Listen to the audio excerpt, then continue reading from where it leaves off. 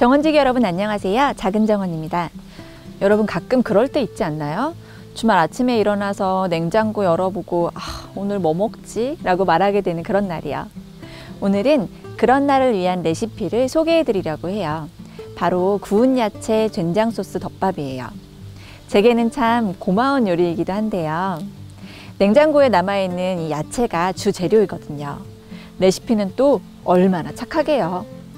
냉장고 야채를 본격적으로 털어볼 수 있는 요리입니다. 자, 그럼 몸에도 좋고 맛도 좋은 구운 야채 덮밥. 작은 정원과 함께 시작해 볼까요?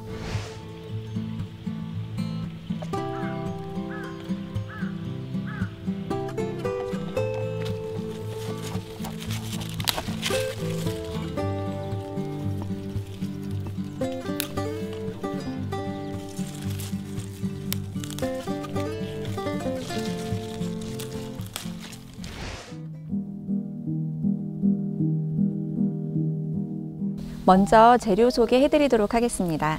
어, 저는 텃밭에서 바로 따가지고 온 걸로 이렇게 어, 샐러드 해먹는 굉장히 좋아하는데요. 어, 가끔은 소화가 잘 안 될 때가 있어요. 그래서 오늘은 구워서 먹으면 훨씬 더 소화 흡수에도 도움이 되고 영양이 좋은 걸로 준비를 해봤는데요.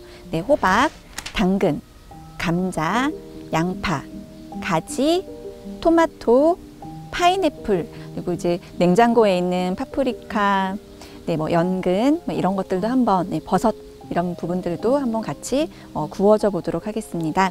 그리고 된장 소스를 만들기 위해서 어, 이 다진 양파 그리고 마늘 어, 그리고 된장 소스 덮밥을 할 거기 때문에 된장을 준비해 봤고요. 어, 그리고 전분물을 예, 준비해 주시면 됩니다. 네, 재료 손질을 좀 해보도록 하겠습니다. 네, 따로 정해져 있는 건 없고요. 먹기 좋은 크기로 잘라주시면 돼요.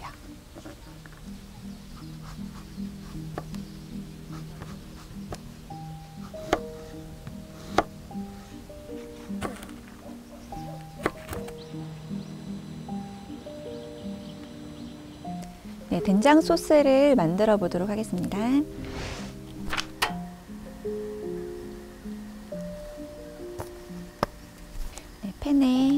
오일을 좀 넣고요. 네, 편마늘 넣고 저는 좀 매콤하게 먹으려고 페페로치노를 조금 넣도록 할게요. 매운 거 싫어하시는 분은 꼭 넣지 않으셔도 돼요. 네, 마늘을 살짝 익힌 다음에 다진 양파를 넣어줄게요.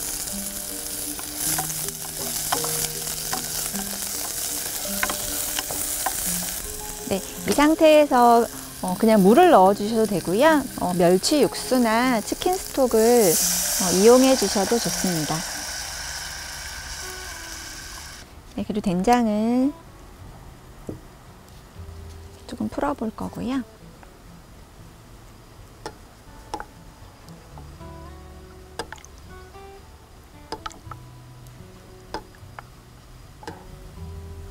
네, 된장을 푼 다음에 아까 썰어두었던 팽이버섯을 넣어주시면 돼요.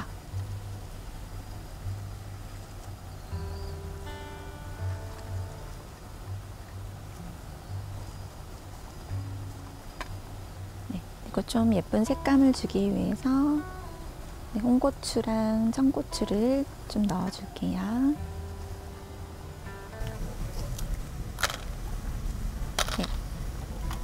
조금 끓어오르면 어, 준비해두었던 전분물을 조금 넣어보도록 할게요.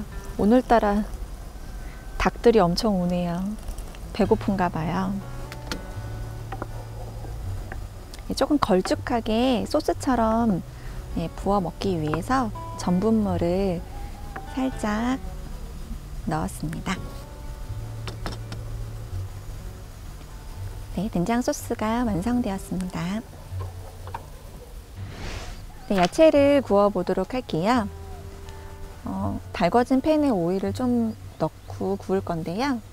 어, 오일이 있는 게 싫으시면 집에 오븐을 활용하셔도 되고요.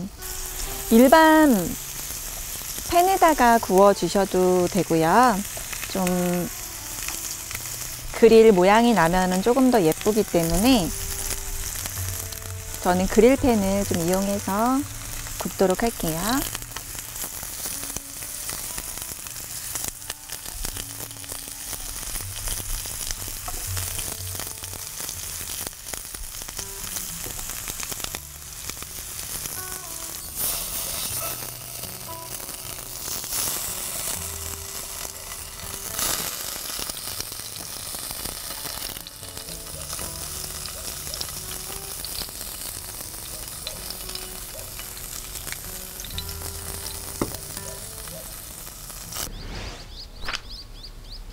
네, 플레이팅 해보도록 할게요. 네, 다 구워진 야채를 밥 위에 올릴 건데요.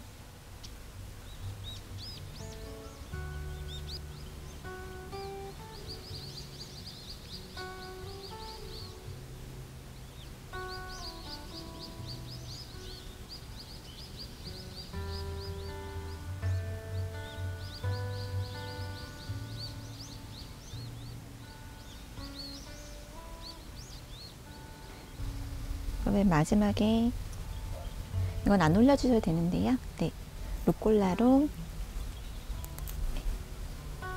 장식하도록 할게요. 네, 완성되었습니다.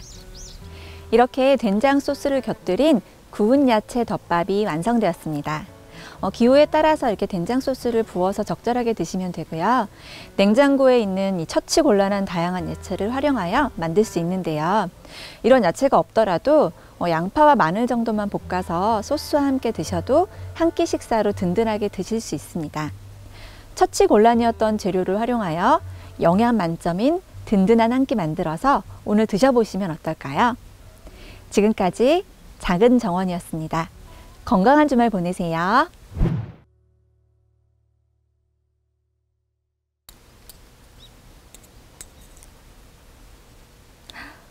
구수하다.